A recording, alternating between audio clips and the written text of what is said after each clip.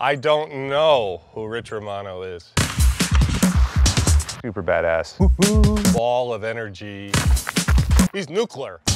Wild man. An amazing guy. He's fucking nuts.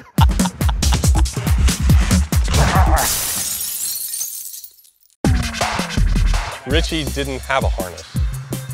Richie didn't want a harness. Richie wore a Swami belt, but Richie just used a piece of one inch, wrapped a few times around.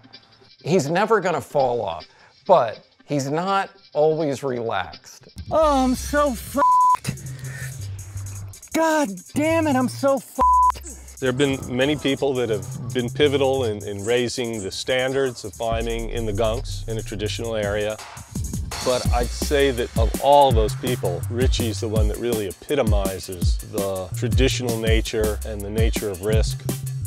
Richie's activities here really epitomize what climbing was like in the gunks and, and can be like in a trad area.